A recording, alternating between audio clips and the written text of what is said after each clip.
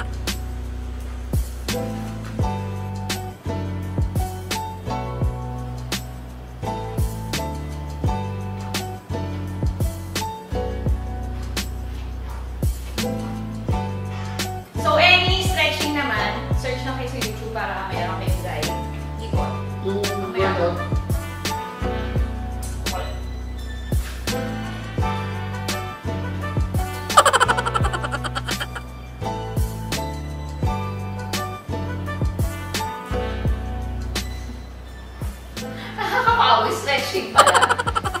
so, yan. Maganda yung uh, lalabas ng mga negative energy para mapalitan ng happy hormones. Importante, importante work out. So, after no stretching na ginawa natin, mag-warm up naman tayo kahit ilang workout lang. Ang ginagawa ko, high jump and um, jumping, ano jumping jacks. Take, magbibilang lang ako ng take 30. So, yan, gawin natin.